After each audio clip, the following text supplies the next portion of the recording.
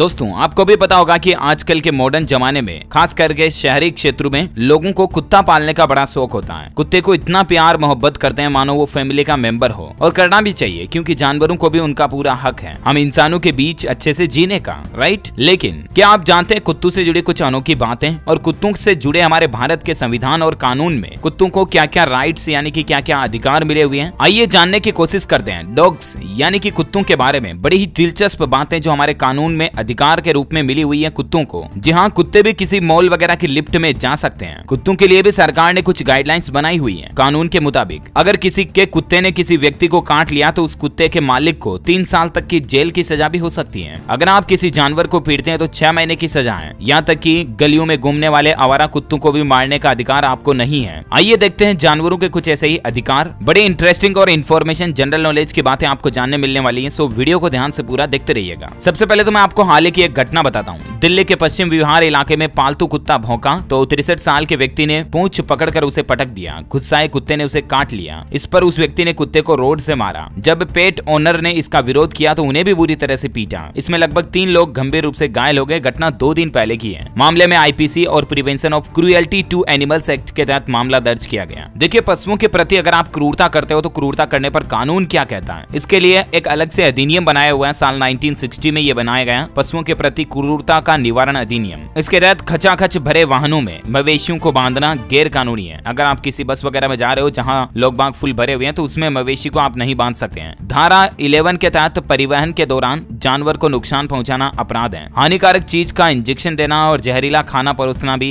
गैर कानूनी है। कुत्तों के प्रति क्रूरता निवारण अधिनियम 1960 की धारा थ्री के अंतर्गत आता है। हाथी, ऊँट, घोड़े, खच्चर, भैंस या गाय, इनको पचास रूपए ऐसी अधिक मूल्य के किसी जीव जंतु को जहर देना उसे विकलांग करना भी गंभीर अपराध है। इसके लिए पाँच साल तक का कारावास और आर्थिक दंड दोनों दिया जा सकता है। देखिए, हाल ही में एक ऐसे मामले, धीरज बताते हैं कि कुत्ते के काटने पर एक मामले में मालिक के खिलाफ केस दर्ज किया गया और आरोपी को छह महीने की सजा हुई। एक अन्य मामले में पाँच साल के बच्चे को अपने कुत्ते से कटवाना, उसके मालिक के लिए महँगा साबित हुआ। कोर्ट ने पीड़ित बच्चे के माता पिता की ओर से दायर याचिका पर सुनवाई करते हुए आरोपी को धारा टू में छह महीने का कारावास और एक हज़ार रूपए का जुर्माना, साथ ही धारा थ्री में दो साल के कैद और पाँच हज़ार रूपए का जुर्माना लगाकर दंडित किया। देखिए, कुत्तों से जुड़ी कुछ धाराएँ। धारा 428 कहती है कि पशुओं को मारना, जहर देना, अफाइज करना बिल्कुल कानूनन अपराध है। इसके तहत दो साल की कैद हो सकती है, जेल हो सकती है आपको, आर्थिक दंड या दोनों हो सकता है। वहीं अगर आप ये अपराध धारा 429 के अंतर्गत करते हैं तो आपको पाँच साल की सजा, आर्थिक दंड या दोनों हो सकते हैं। अच्छा animal welfare board of India की गाइडलाइंस के मुताबिक किसी सोसाइटी की लिफ्ट में कुत्ते भी आ जा सकते हैं। उन्हें लिफ्ट में जाने से मना नहीं किया जा सकता है। कोई लिफ्ट में अपने पेट डॉग को लेकर जा सकता है। इसके बदले उसके लिए अलग से पैसे भी नहीं लिए जा सकते हैं। एनिमल के गाइडलाइन में बताया गया कि किसी लिफ्ट में लोग हों और दूसरी लिफ्ट खाली हो तो भी नहीं कह सकते कि कुत्ते को उसमें ले जाएँ। जहाँ आप जा रहे हो, वहाँ आपका डोगी जा सकता है। पेट डॉग्स के लिए कुछ और गाइडलाइंस देखिए आप। मालिक पर ज़िम्मेदारी होती है कि कुत्ते रात में ना भौंके। ऐसा नहीं कि आपका कुत्ता अगर रात में भौंक रहा तो पड़ोसी की नींद खराब हो रही है। तो ये आपकी ज़िम्मेदारी है। कुत्ते को हेल्दी और सांप रखना भी आपकी ज़िम्मेदारी है। पड़ोसियों की नींद में खलल नहीं पड़ना चाहिए। ये सुनिश्चित करें कि कुत्ते को आप समय समय पर वैक्सीन लगाते रहें। बाहर ले जाने से पहले कुत्ते के गले में पट्टा ज़रूर बांधें। वहीं अगर आप किसी अपार्टमेंट में रहते हैं तो उसमें आने जाने के लिए आप लिफ्ट का इस्तेमाल कुत्ते के लिए भी ले सकते हैं और कुत्ते से आप कभी किसी पब्लिक प्लेस को गंदा नहीं करवा सकते हैं। ऐसा नहीं कि आपका कुत्ता वहाँ लेटरिंग कर रहा है टॉयलेट कर रहा है। पब्लिक प्लेस में अगर आपका कुत्ता कहीं गंदगी फैलाता तो मालिक को उसका साफ़ करना पड़ेगा। हालिया का एक डेटा देखिए दोस्तों केरल राज्य का डेटा है सिर्फ़ ये पिछले पाँच साल में आठ लाख लोगों को कुत्ते ने काटा है। Association for prevention and control of rabies in India के मुताबिक इनमें से सबसे अधिक मामले केरल की राजधानी तिरुवंतपुरम से हैं, जहाँ बयालीस लोगों की मौत भी हो गई क्योंकि कई बार कुत्ते काटने से रेबीज की बीमारी हो जाती है। और रेबीज से 36 प्रतिशत मौतें भारत में होती हैं। विश्व स्वास्थ्य संगठन की एक रिपोर्ट के मुताबिक दुनिया भर में रेबीज से जो जितनी मौतें होती ना, उनमें से अकेले भारत में 36 परसेंट मौतें होती है। Association for prevention and control of rabies in India के फाउंडर एम के सुदर्शन ने अपनी रिपोर्ट में बताया की भारत में हर साल बीस हज़ार भी ज़्यादा लोगों की मौत रेबीज की वजह से होती है। इसमें भी दिलचस्प बात यह की बंदर, बिल्ली या किसी दूसरे जानवर के मुकाबले रेबीज से होने वाली मौतों में 99 परसेंट कुत्ते के काटने से होती है।